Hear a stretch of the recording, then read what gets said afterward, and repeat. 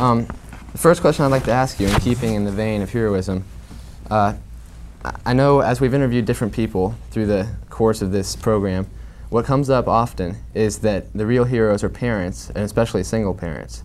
And I know that you were raised by a single mother. Uh, could you give me your thoughts on parents as heroes? Well, I, I think that heroism can often be defined as a, as a commitment fulfilled over the long steady, constant.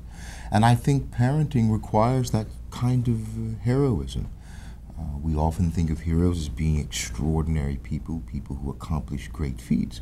But when you consider paying the rent or the mortgage on a regular basis, keeping groceries in the refrigerator, keeping the utilities on, the gas and the lights and so on and so forth, um, putting bandages on wounds, uh, putting love and kind words on uh, hurts of the heart, those are ongoing commitments, and I think that uh, that is heroism. And I think if we look at our parents, we'll find heroism very, very close to home.